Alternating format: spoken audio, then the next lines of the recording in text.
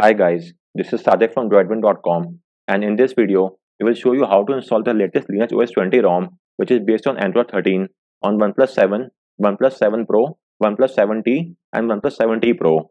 So without any further delay, let's get started. First and foremost, please take a backup of all the data on your phone because the process will wipe off all the data. Likewise, make sure that you are on the latest Android 12 firmware. Let me show you once. So you can go and verify the same from the about device section and make sure that you are on Android 12. If you have done both these requirements, then let's get started with the guide. So in this regard, your first course of action is to install the Android SDK platform tools folder. This is required. This is the official Google binaries and is required to boot your phone to the ADB and fastboot mode. So download it from the link given in the description and extract it on your PC. You could see the file something like this. This is the extracted platform tools folder as you could see. So extract it and then move over to the next step. This involves enabling USB debugging and OEM unlocking. So go to your phone's about device section and within that go to version then tap on build number seven times. As soon as you do so, you will get a message that you are now in developer mode. So go back, again go back, go to system settings. You should now see developer option. So go there and enable the toggle next to USB debugging as well as OEM unlocking. In my case, it's already unlocked because my bootloader is already unlocked, so it's grayed out. That's not an issue. So let's move ahead once that is done, your next course of action is to verify the ADB debugging prompt. So for that, let's first verify the ADB debugging connection. So go to the platform tools folder address bar, type in CMD and hit enter. This will launch a command prompt with the platform tools folder directory. Now type in ADB devices and make sure you get a serial ID. So as you could see, I'm getting a serial ID. This means that the connection is successful. If you're not getting any serial ID, then please disable the debugging and then re-enable it or tap on revoke USB debugging and retry the process. Likewise, use the official USB cable and you could try using the USB 2.0 port instead of the 3.0 port. So try out these USB tweaks and make sure you are getting the serial ID. If you are getting the serial ID, then you are good to proceed ahead. So next up, uh, we have to boot our phone to the fast boot mode. So for that, execute the following command adb reboot bootloader. So type in this command and hit enter. This will boot your phone to the fast boot mode. Now while it's booting up, we will now have to unlock the bootloader. Do keep in mind that this will reset your device, remove all the data and could nullify the warranty as well. So if it's well and good on your end, then only proceed ahead. So all that you need to do is now type in fastboot OEM unlock and then hit enter. I've already unlocked my phone, so I will not execute the command. I'm just showing you the command. So type in fastboot OEM unlock and hit enter. You will now get a prompt on your phone. So use the volume keys to select unlock the bootloader and hit the power key to confirm it. If that command does not work, then you could also use the fastboot flashing unlock command as well. Both these commands will do the job. So type in fastboot flashing unlock and hit enter. You will get a prompt, select unlock the bootloader and then hit the power key to confirm it. Your device will uh, undergo a reset and once the reset is complete, it will boot to the OS with the bootloader unlocked. Once it boot to the OS, make sure to re-enable the USB debugging and again boot to the fastboot mode. So once you are booted to the fastboot mode and make sure now it's showing the device status unlocked.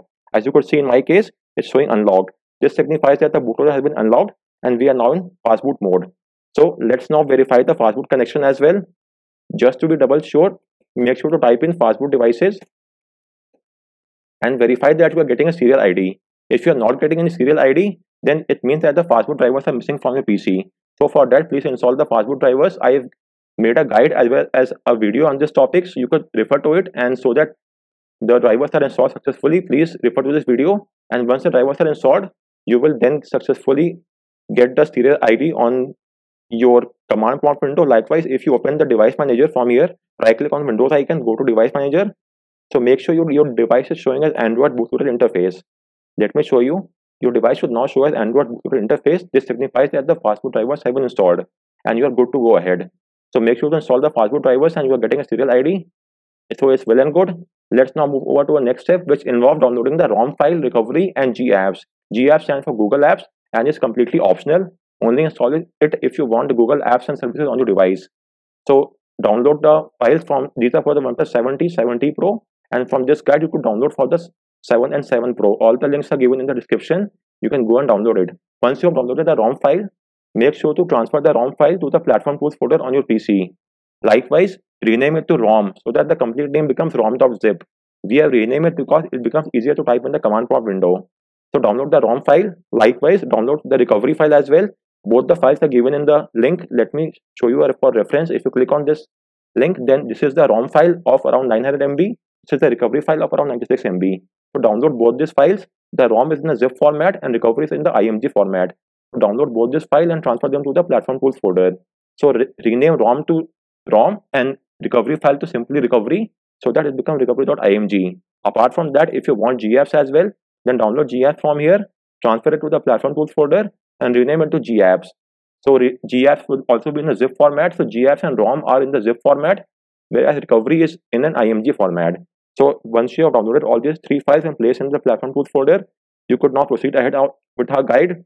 So our next course of action is to boot the phone to fastboot mode which we have done already now comes the most important part we now have to flash the recovery on our device now, if you are owning a OnePlus 7T or OnePlus 7T Pro, then you have to flash the recovery in the recovery partition itself. But if you are having OnePlus 7 and 7 Pro, then you will have to flash the recovery in the boot partition. I have taken this information from the official lineage, lineage page itself, so it's verified. For OnePlus 7 and 7 Pro, you have to flash the recovery in the boot partition, whereas for 7T and 7T Pro, it's to be in the recovery partition itself. So my phone is OnePlus 7T, so I will be flashing the recovery in the recovery partition itself. So just copy paste this command or you could type in manually as well in the command prompt window and then hit enter. Make sure that the name of the recovery is recovery.img as you could see from here and now hit enter. The lineage OS recovery will now be flashed and it will take a few seconds to be flashed. So you could see the process is now complete. We have flashed the recovery. Once the recovery is flashed, you have to boot your phone to the recovery mode. For that, you could either use the fastboot reboot recovery command or let me show you one more method either use the command method or use the hardware key in hardware key you could use the volume down key to bring up the recovery option and then press the power button to select it or execute the you could also type in the fastboot reboot recovery command and then type in hit enter so as you could see our device is now booting to the recovery mode and the process would only take a few seconds to boot into the recovery mode so as you could see, our device has booted to the Lineage OS recovery. And let me let so let's now move over to our next step. Just a minute, yes. So let's move over to our next step. Now we will have to first and foremost reset our device. This will remove all the data from your device. So make sure that you have taken a backup beforehand. So now let's reset the device. For that, go to factory reset and select format data factory reset. Again, select format data and wait for the process to finish. You could keep a track from the bottom of the device, bottom left, it's saying data wipe is complete. So if that's well and good, let's now move over to our next step. Once the format data is done, you will now have to install the ROM. So for that, we'll be using the ADB sideload mode. So go back and then select apply update. And within that, select apply from ADB. Now our phone is in the sideload mode. So now head over to the command prompt window and type in ADB sideload and the name of the ROM, which is rom.zip in our case we re-verify the name of the ROM file is correct. So it's rom.zip in our case. Now hit enter. The side loading will now begin and the process will take a few minutes. It could take up to 5 to 6 minutes. It will first verify the update package and once it has verified the signature, it will then begin the flashing process. So let's wait for the time frame. You could keep a track of the same from here as well from the command window. But do keep in mind that it usually tends to pause at 47%. This is not any issue but it's just a UI bug you could call because the ROM will flash in the backend, but in the in the front end, the command prompt windows usually get stuck at 47%. So let's wait while the ROM is being flashed. So in the meantime, let's discuss some other topics related to this ROM flashing. Let me first show you the 47% bug so that you don't worry about this thing. So as you could see, it will now start and stop at 47%. Actually, the ROM is flashing and you could see on our device it has started the first step of the two step of flashing ROM, but over here you would only get 47%. So regarding this, I would also like to say one more thing. When the flashing is complete, you will get the total xfer 1 into message. However, that is not the only message. In some cases, you might also see a messages something along the following lines, such as ADB failed to read command, ADB failed to read command, no error, then 47% ADB or ADB failed to read command. All these error messages signifies that the ROM has been flashed successfully. Yes, it might sound a little bit counterintuitive, but trust me, all these messages mean the same thing. So if you get any of these five messages, then it means that the ROM flashing has been successful and you could proceed ahead. So let's now verify the process. In the command prompt, it will show only 47%. and in our phone it's currently stuck at step 1 or 2 so the process usually takes around 10 minutes while that is flashing i have also made a recently made a guide as well as a video on how could you could root this rom as well. So once you are done installing this rom and if you want to root it then do check out our guide. I have rooted the rom which is based on lineage os 20 android 13 itself. So you could carry out this task. There are two methods of rooting this rom. You could either simply sideload the magisk app after renaming it to magisk zip or you could also extract the payload.bin file and then flash it via that method so if you are done using the flashing the rom you could also try out this task of installing the magisk and rooting your rom. First try the first method and if that does not work then you could try the second method. I've also made a video on that. So you could also re-verify this method if you want. So let me again show you the method. As of now on the device it's step 2 of 2 has started. So and as you could see install completed with status 0 this signifies that the flashing is now complete.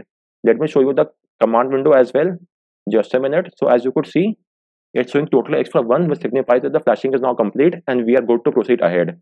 So once the flashing is done let's move over to our next step. Just a minute. So with this we have installed the rom. And now let's move over. If you want to install gapps as well then move over to our next step. However if you do not want to install gapps then you could not tap on reboot system now and your phone will boot to the lineage os rom without any google app. However let's now flash the gapps it is completely optional. It's completely up to you. So in this process i'll be flashing the gapps so for that you will have to re restart your phone to the recovery mode. So go to advanced and select reboot to recovery. Your device will again reboot to the pixel experience sorry to the lineage os recovery and the process will take only a few seconds to boot. So let's wait for the time frame. As you could see our device has rebooted to the pixel to the lineage os recovery and now we are good to proceed ahead. So first and foremost make sure you have the gapps file in the platform tools folder. If that's well and good then go to apply update and select apply from adb but this our phone is now in the adb sideload mode and we could now sideload the gapps so go to the command prompt window and just type in adb sideload space followed by the name of the gap package in our case it's gap.zip so now hit enter and the flashing will now begin and it will only take a couple of minutes. For the time being it's now verifying the update package. So let's wait for the time frame and you might again see at 47 percent you might get a prompt on your phone. So as you could see you are getting a signature verification failed.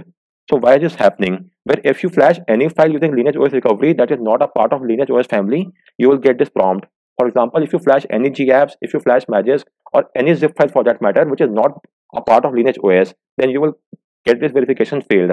So that's not a cause of concern. Just tap on yes. It will now proceed with the installation. It will now install the gap package. So if you are flashing any file in the near future as well, for example, any zip file or mod file, you will get that message. You could just tap on install anyway. That is if you if you are sure of the trustworthiness of that file. In our case, we are sure of the source that it's a gap and it's the trusted file so we tapped on install anyway so as you could see the process is now complete and we are getting install completed with status 0 on the command prompt as, as well we are getting total xfer into 1 into. This signifies that the gapps have now been installed. So once that is done you could now access the os so before that i would recommend you to factory reset your phone once again. It's not although it's not compulsory but i would highly recommend you to do so. So go to factory reset then select format data and again select format data. It's just to be double sure that there is no encryption left on our phone. So with that done you could now type on reboot system now. So your device will now reboot to the newly installed Lineage os 20 rom which is based on android 13 and do keep in mind that the first boot will take up some time because it is beginning from the scratch. So the boot up time could be anywhere around 2-3 minutes. So while it is booting up just to recall while flashing the lineage, there is only one single difference between the lineage OS ROM on OnePlus 7 and 7 Pro and OnePlus 7T and 7T Pro. On OnePlus 7 and 7 Pro, you have to flash the lineage OS recovery in the boot partition using fastboot flashboot recovery.img, where this is the name of the recovery file. Whereas on the OnePlus 7T and 7T Pro, you have to flash the recovery file in the recovery partition itself. So make sure to keep in mind this difference. Apart from that, the entire instructions are completely same. There is no other change so always yes so always keep this in mind and while flashing or sideloading any file if you get any of these error messages that's not a cause of concern because it also signifies that the flashing is completed successfully. So in the meantime you could see this is the lineage os boot animation. It's booting up now. And as told you before the first boot up usually takes up to a few extra seconds. This is only for the first time boot up. For the subsequent restart your device will not take that much time. So do not worry if it's taking some long time wait. As you could see a device has now booted to lineage os recovery. This is a usb debugging prompt. You could type on allow if you want then select start. And currently i'm skipping all the setup because i want to show you the rom itself. So let's skip th this processes. I am getting the google services screen because i've installed gapps if you have not installed gapps you will not get this screen. So let's accept the terms and condition and skip the password for now. Now type on next gesture navigation and skip start so as you could see, our phone has now booted into Lineage OS 20 ROM, which is based on Android 13. Let me show you the status. This is the navigation settings menu. Let me go to there. And if I go to the system, then updater, you could see I'm on the Lineage OS 20 ROM, which is based on Android 13. And my phone is, as you could see, it's OnePlus 7T. So guys, this was all from this video on how you could install the latest Lineage OS 20 on OnePlus 7, OnePlus 7 Pro, OnePlus 7T and OnePlus 7T Pro. If you have any queries, do let me know in the comment section and please subscribe to this channel for more tips and tricks. Thanks a lot for watching.